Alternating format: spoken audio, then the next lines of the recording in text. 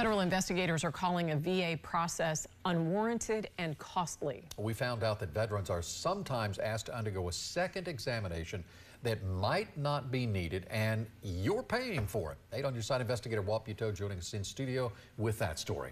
Keith and Jen, frustrating for veterans to find out a second examination they were put through wasn't needed.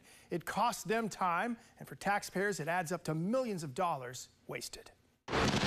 During Operation Iraqi Freedom two decades ago, Bill Sturbinski volunteered with the Marines and was sent to Iraq. He tells us he had several close calls there, including surviving a helicopter crash.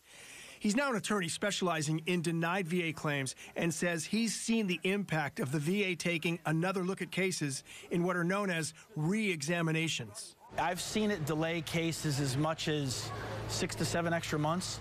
Uh, we've seen cases where they have nothing's been done to them. There might be a, a medical opinion um, in the file, and no decision has been rendered for sometimes up to a year.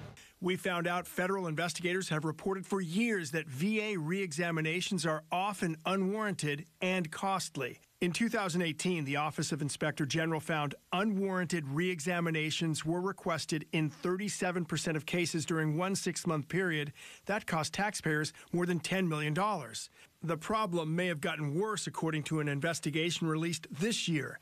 The OIG reported one sample of cases showed 66% of the reexaminations were unwarranted. VA leaders agreed with the findings and recommendations to reduce unwarranted reexaminations by improving guidance for processors, better define processors' duties, and to update training. Sturbinski hopes it gets better in the future, but he and his clients are still frustrated by the past. You can look at veterans, you can say, yeah, you, you basically, at a, at a, on a good day, you have a 66% chance that your claim is going to be handled wrong.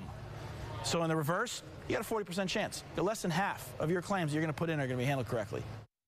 And the VA admitted in that report the unwarranted exams cause a hardship for the patients, reduced efficiency for staff, and slowed down claims for everybody. Well, did the VA offer any time frame on when they might make some of these changes? Yeah, so it sounds like good news. The target date for reducing the re re-examinations is the end of this year. That's not too far away. The other recommendations are set to be in place by next spring, and OIG is expected to take another look at this issue sometime after that. But it's been a problem for years, including recently. So. Thank you, Walt. Okay. If you have something you want Walt to investigate, call our 8 on your side helpline at 1 800 338 0808.